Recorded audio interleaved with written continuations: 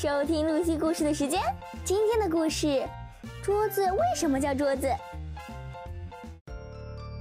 嗯，好无聊，救命呀！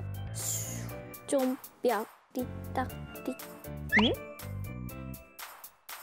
钟表谁第一个叫它钟表的呢？嗯，床为什么叫做床？啊，有了！哎，床，今天开始你就叫香蕉啦，香蕉，哈哈哈，有意思。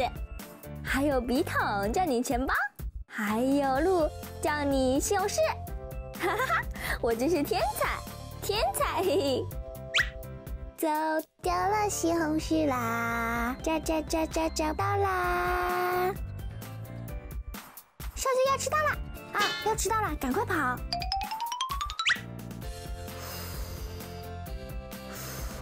啊！哎，铅笔弄哪去了？大白兔，铅笔戒指给我吧。铅笔什么东西啊？啊，那是什么？就是这个，你不是有吗？快借我一只，快点！啊，你说钟表吗？我就只有一个啦。啊，无语，不是钟表，是铅笔。我说这个，就是啊，这就是钟表，我只有这一个啦。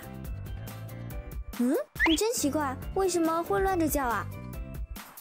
是啊，我昨天想到的游戏啦。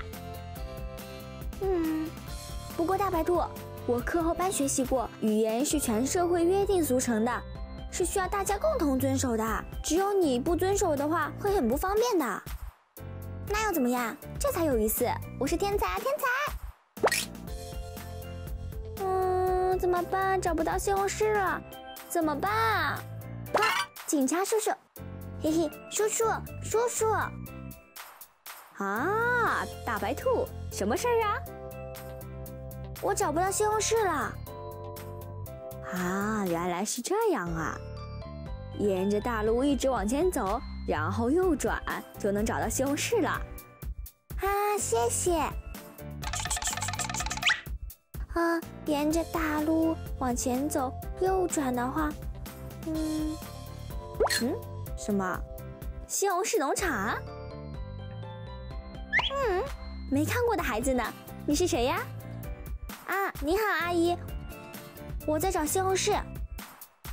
嗯，你说你在找西红柿？啊，你是来买西红柿的吗？不过你有钱吗？啊，我的小雏鸡都在我的储存罐里，我现在没有呢。是啊。要买西红柿的话，需要用钱。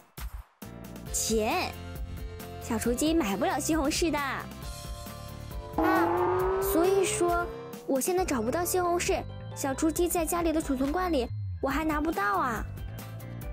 什么呀？你说的一句话我都没听懂。阿姨忙着呢，你赶紧走吧，走吧。哈哈，怎么办？赶紧离开，离开。怎么办？怎么办？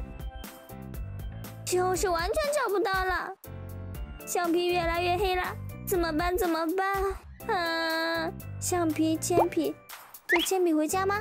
哈，铅笔原来叫什么来着？橡皮是什么来着？哈，嗯嗯，什么来着？哈，好好乱，好乱，头好疼，这样下去就不能回家了。嘿，怎么办才好嘛？救救大白兔吧！呼！大白兔到底能不能顺利回家呢？今天露西的故事就到这儿啦，朋友们，下次再见哦！再见。